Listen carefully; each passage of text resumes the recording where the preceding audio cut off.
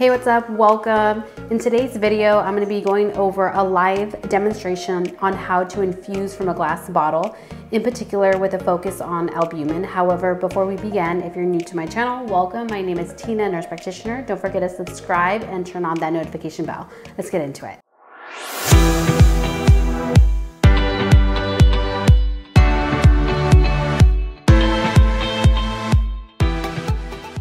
So there are three different types of medications that come in a glass bottle.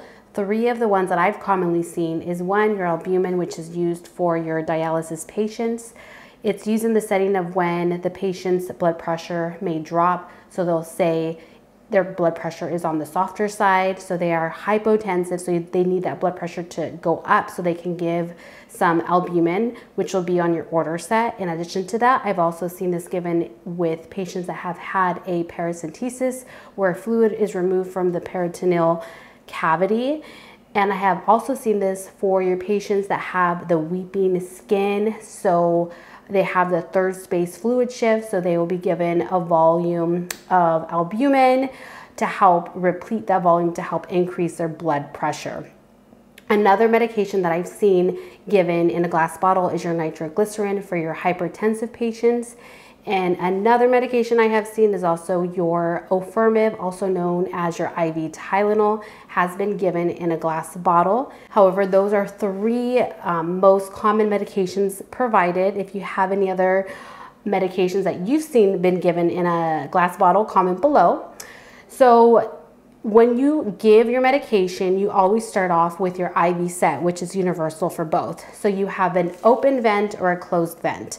The open vent is given for medication that needs to be given in a glass bottle, or you have your closed vent, which is medication prepared to be given in a plastic bag. So let's jump into the steps. So you've been given an order to administer albumin 25% for your patient that has a low blood pressure. So you are going to go through your medication rights, gather all your supplies, do your hand hygiene, you have your IV set, and you have your medication that you'll be given. You'll want to close the roller clamp. And you never want to open the vent. You want to keep that closed for now, and I'll let you know when it's time to open. Then you have your glass bottle. You're going to pop open or flip the cap. Then you're gonna remove the plastic cover from the spike.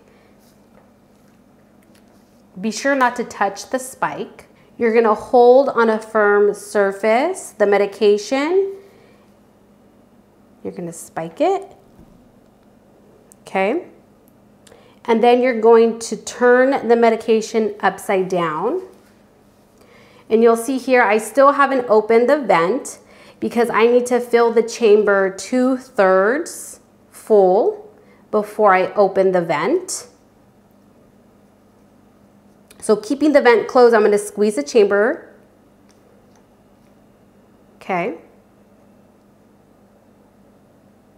Now let's say the vent was open before I filled the chamber. It could slow the flow or block the flow or even cause an increase in like air bubbles. So you wanna be cautious with that. We're gonna hang the medication on the IV pole. Now that I filled the chamber, now we can open up the vent. Okay. And now I can open up the roller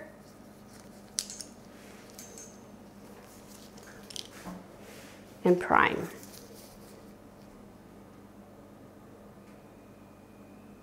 And you'll notice that there are not any air bubbles. It went in smoothly because we did the opening of the vent just at the right time.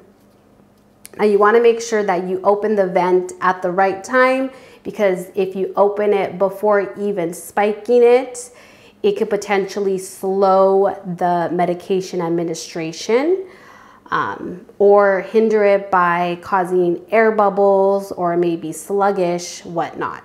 And then this is where you would connect it to the patient. Thank you so much for watching. Don't forget to check out one of my other videos and I will catch you on the next one. Take care.